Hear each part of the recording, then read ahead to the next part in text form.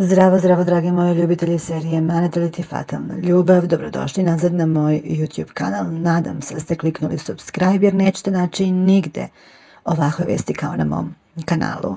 Pre svega, mnogo toga se izdešavalo u seriji Emanet i znamo se što je bilo sa Seher i sa Jaman. Ona je našla dosije.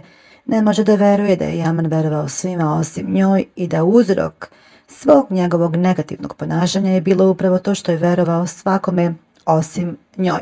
Svi znamo šta je to bilo. Međutim, posljedne vesti za ovu seriju su da će se naredne sedmice dešavati snimanje na lokaciji nekoj drugoj. Mnogi se pitaju šta bi to moglo da bude. Možda je Seher upravo otišla od kuće da malo sredi misli i sve ono što se njoj naravno dogodilo. Znamo da joj se dogodilo jadnici mnogo toga.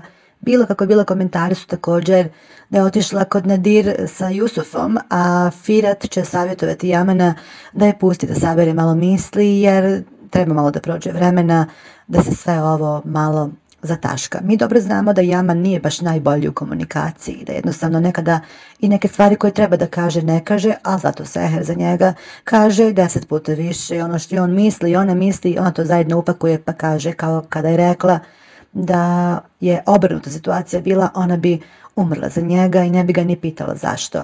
Tako da, ostane da saznamo da li će se otići kod Nadira sa Jusufom i da li će se napokon malo strasti smiriti kada prođe nekoliko dana i ukoliko Jaman ode po nju. E to će biti ekstra scena.